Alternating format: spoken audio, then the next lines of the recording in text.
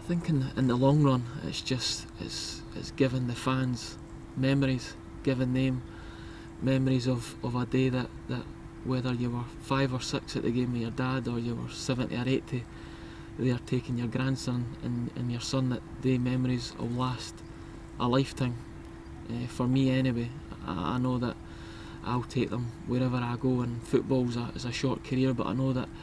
the memory of winning that cup and the joy that we brought to so many people, people remember that or we were in the, on, the, on the 21st of May 2016 oh, I was at the Hibs game or even if they weren't I was, I was, I was in the pub watching it and, and you attach so many memories to that one day. So I'm just thankful that, that, that we gave the fans a day to remember for the rest of their life.